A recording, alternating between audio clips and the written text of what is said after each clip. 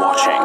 Don't forget to like, comment, share and subscribe to السلام عليكم ورحمة الله وبركاته. الحمد لله وكفى وسلام على عباده الذين اصطفى أما بعد. فأعوذ بالله من الشيطان الرجيم. بسم الله الرحمن الرحيم.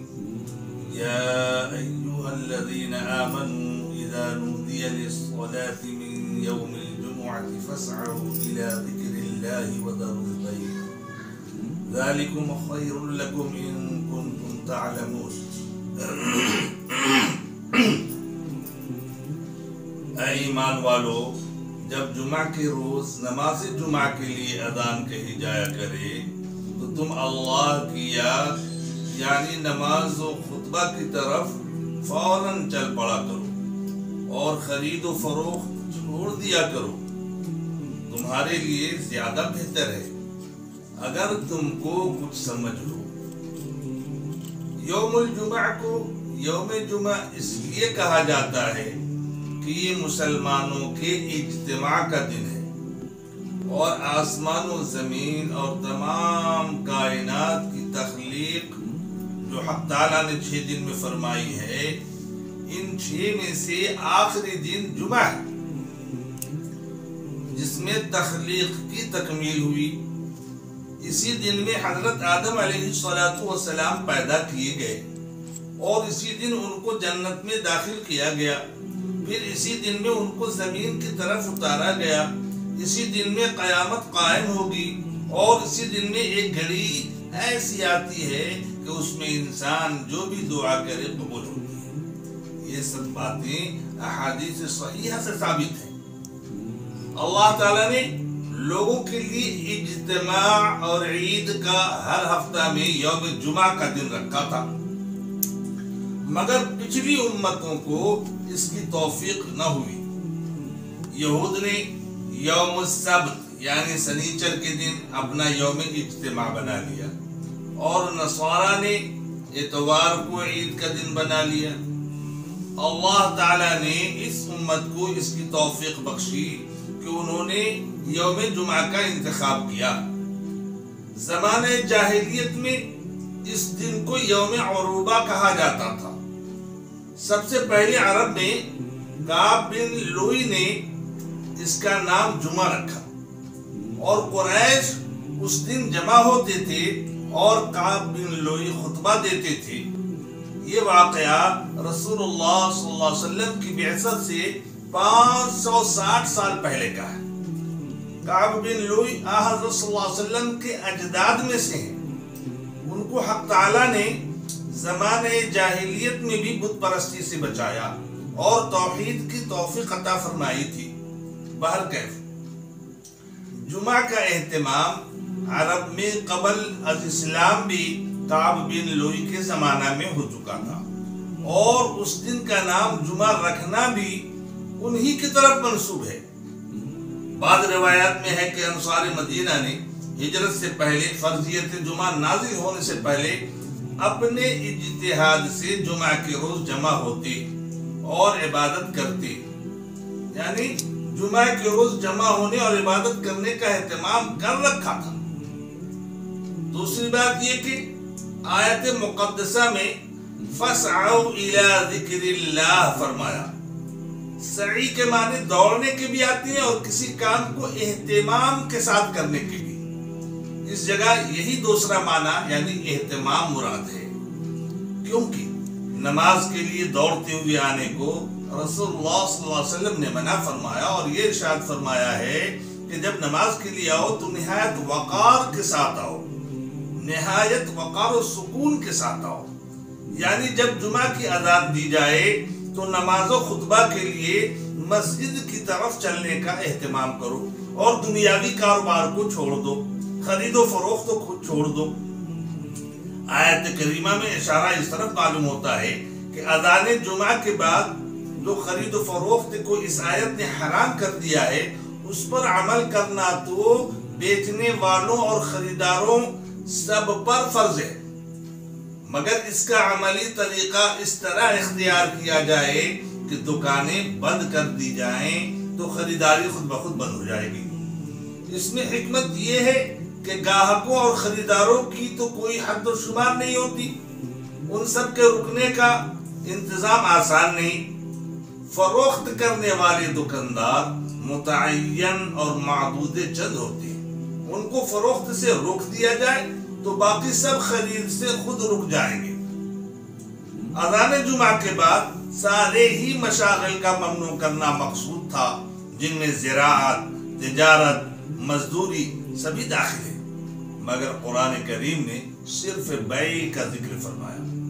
اس سے اس طرف بھی اشارہ ہو سکتا ہے کہ جمعہ کی نماز کے مخاطب شہروں اور قصبوں والے ہیں۔ چھوٹے دیہات اور جنگلوں میں جمعہ نہیں ہوگا۔ اس لیے شہروں اور قصبوں میں جو مشاغل عام لوگوں کو پیش آتے ہیں، ان کی ممانعت فرمائی گئی۔ اور وہ ہے بیع و شرع یعنی خرید و فروخت بخلاف گاؤں اور دیہات کے کہ ان کے مشاغل کھیتی، جوتی اور زمین سے متعلق ہوتے ہیں۔ اور بے اتفاق فقہائے امت یہاں بے سے مراد فقط فروخت کرنا نہیں، بلکہ ہر وہ کام جو جمعہ کی طرف جانے کے اہتمام میں مخل ہو، وہ سب بے کے مفہوم میں داخل ہے اس لیے اذان جمعہ کے بعد کھانا، پینا، سونا، کسی سے بات کرنا، یہاں تک کہ کتاب کا مطالعہ کرنا وغیرہ سب ممنوع ہے۔ صرف جمعہ کی تیاری کے متعلق جو کام ہوں، وہ کیے جا سکتے ہیں۔ اذان جمعہ شروع میں صرف ایک ہی تھی، جو خطبہ کے وقت امام کے سامنے کہی جاتی ہے۔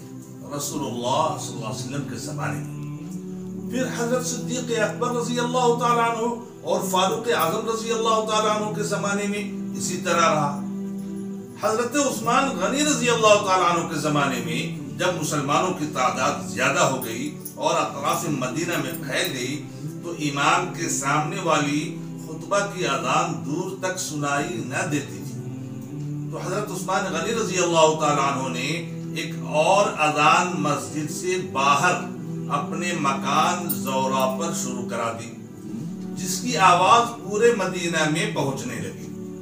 صحابہ کرام رضی اللہ تعالیٰ عنہ میں سے کسی نے اس پر اعتراض نہیں کیا۔ اس لیے یہ اذان اول باجماع صحابہ مشروع ہو گئی، شریعت بن گئی۔ اور اذان جمعہ کے وقت بیع و شرع وغیرہ تمام مشاغل حرام ہو جانے کا حکم جو پہلے اذان خطبہ کے بعد ہوتا تھا، اب پہلی اذان کے بعد سے شروع ہو گیا۔ کیونکہ الفاظ قرآن اذا نودی للصلاة من یوم الجمعہ، کہ جب پکاری جائے جمعہ کے دن نماز کے لیے، اس پر بھی صادق ہیں۔ یہ تمام باتیں حدیث و تفسیر اور فقہ کی عام کتابوں میں بلا اختلاف مذکور ہے اس پر پوری امت کا اجماع و اتفاق ہے کہ جمعہ کے روز ظہر کے بجائے نماز جمعہ فرض ہے۔ اور اس پر بھی اجماع و اتفاق ہے کہ نماز جمعہ عام پانچ نمازوں کی طرح نہیں، اس کے کچھ مزید شرائط ہیں۔ پانچوں نمازیں تنہا بلا جماعت بھی پڑھی جا سکتی ہیں۔ دو آدمی کی، دو آدمی کی بھی جماعت ہے اور جمعہ بغیر جماعت کے ادا نہیں ہوتا اور جماعت کی تعداد میں فقہا کے اقوال مختلف ہیں۔ اسی طرح نماز پنجگانہ ہر جگہ دریا پہاڑ جنگل میں ادا ہو جاتی ہے مگر جمعہ جنگل، صحرا ان جگہوں میں کسی کے نزدیک ادا نہیں ہوتا۔ عورتوں، مریضوں، مسافروں پر جمعہ فرض نہیں، وہ جمعہ کی نماز کے بجائے ظہر کی نماز پڑھے جمعہ کس قسم کی بستی والوں پر فرض ہے؟ اس میں ائمہ فقہا کے اقوال مختلف ہیں۔ امام شافی علیہ رحمہ کے نزدیک جس بستی میں چالیس مرد احرار یعنی آزاد، عاقل، بالغ بستیاں ہوں، اس میں جمعہ ہو سکتا ہے۔ اس سے کم میں نہیں۔ حضرت امام مالک علیہ رحمہ کے نزدیک ایسی بستی کا ہونا ضروری ہے جس کے مکانات متصل ہو اور اس میں بازار بھی ہو حضرت امام اعظم ابو حنیفہ علیہ رحمہ کے نزدیک جمعہ کے لیے یہ شرط ہے کہ وہ شہر یا قصبہ یا بڑا گاؤں ہو، جس میں گلی کوچی اور بازار ہو اور کوئی قاضی، حاکم، فیصلے، معاملات کے لیے ہو خلاصہ یہ ہے کہ بحکم قرآن باتفاق جمہور امت عام مخصوص الباز ہے۔ علل اطلاق ہر مسلمان پر جمعہ فرض نہیں، بلکہ کچھ قیود و شرائط سب کے نزدیک ہیں۔ اختلاف صرف شرائط کی تعین میں ہے۔ البتہ جہاں فرض ہے، ان کے لیے اس فرض کی بڑی اہمیت و تاکید ہے۔ ان لوگوں میں بلا عذر شرعی کوئی جمعہ چھوڑ دے تو احادیث صحیحہ میں اس پر سخت وعیدیں آئی ہیں اور نماز جمعہ اس کے شرائط و آداب کے ساتھ ادا کرنے والوں کے مخصوص فضائل و برکات کا وعدہ ہے۔ پھر بعد نماز جمعہ خرید و فروخت کی اجازت مل گئی۔ پہلے پہلے نماز جمعہ کے بعد خطبہ دیا جاتا تھا۔